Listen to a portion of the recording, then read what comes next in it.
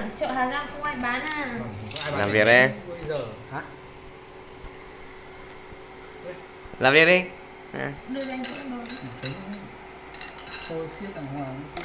ngon đây nhỉ đi vào lòng nhúng này. dậy đi. Cái này anh à, để cái gì hết vào chết chưa? Rồi. Nhạt nhạt tí thôi mình còn chấm đi nhỉ? Ôi, làm tí tiết canh báo cốc anh em ạ thiếu ít chục đầu bây giờ. Em không có rượu nhá. Em bé ăn đây này. Đây này đây đúng rồi.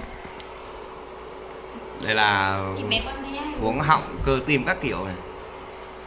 Xèo non. Anh xương ăn nhúng dưa nhá. con nó có xối không ăn xôi bị xôi đấy. Đây rồi phết không đã đồ nếp còn gì nữa. Ai không ăn đồ nếp có mày không ăn đồ Nào. nếp.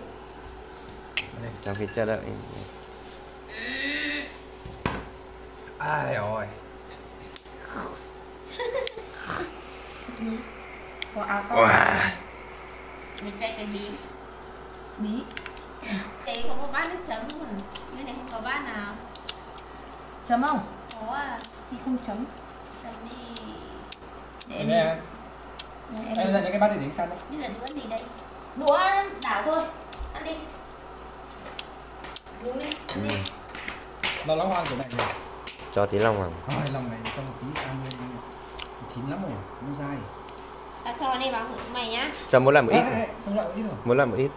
Làm mẹ có cái sườn đẹp đẹp lấy à, ra mẹ quá. ăn. Ừ. đấy đưa vào gan cho tí rồi cẩu cẩu gì chia y ta đúng người có tiền có cắt đâu chị thấy giá đâu? Đây 18 nghìn một cái thịt. Đây đây bác.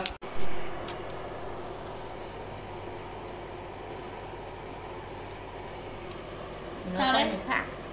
sao đấy? Mày tin tao đăng cái video cái lên à? Thôi thôi, thôi, thôi, ăn đi. Cái này không cho mỡ vào à? Cho gì mỡ? Ăn đi. ăn được chứ? Đừng cho nó ăn ai đưa mắm tàu Mấy nhiều cái đấy Ừ. cho mỡ vào chứ không. Ừ, chị chị không biết gì không. Nấu ấy là À. như thế.